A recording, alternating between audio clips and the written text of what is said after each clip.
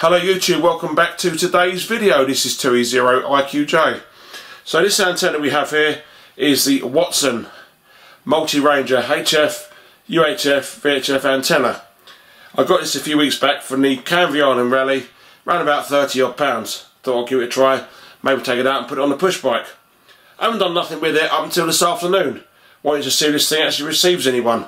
So I went down a local park, mounted this on my push bike, didn't have my video camera so I had to use my mobile phone so the quality's not going to be the best quality but this is how this antenna performed.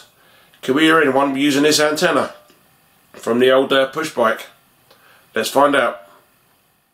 Victor Echo 1, Oscar Juliet from Kilo Norway 4, Indian. Yeah, uh, Ozzy, Oscar Juliet is on. Uh, Victor Echo 1, Oscar Juliet. Uh, 73, uh, DN4, IMS, uh, DE1, Okay, a correction. VE1 OZY, Oscar Zulu Yankee, a correction.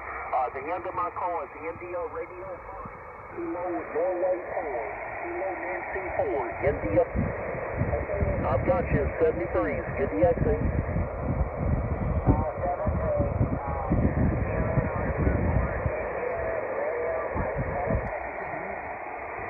Uh, Papa Delta 2 Bravo Alpha, get signal into Kentucky State, uh, 5-5, over.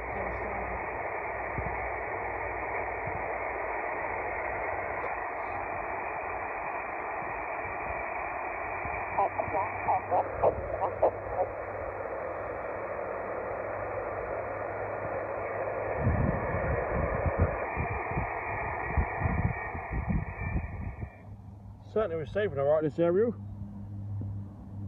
Receiving States, Kentucky State. Uh, 857 QRP rig.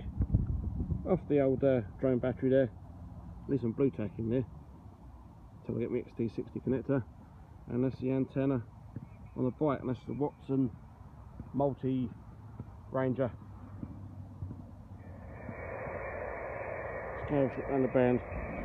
I can see it. You're, you're 5'7", 5'8", you're, you're picking up right now. And I thought the conditions out in Europe was dropping off. Uh, quite surprised to see uh, see the band uh, conditions hanging in here today. Over.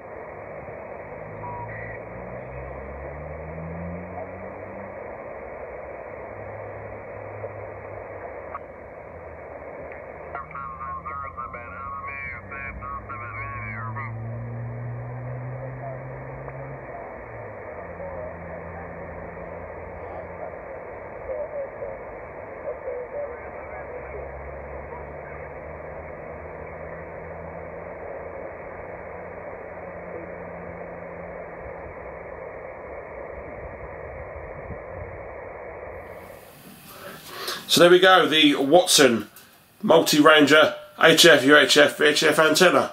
Certainly receiving well, because that Kentucky station at one point was uh, giving me an S9, S8, S9 signal. So when the weather gets a bit warmer, I hope to put this on the bicycle, go and find a high spot somewhere, and try and work some QRP off the old uh, bicycle there. Like I say, thank you very much for watching this video, and I'll catch you in the next one. This is 2E0 IQJ 73.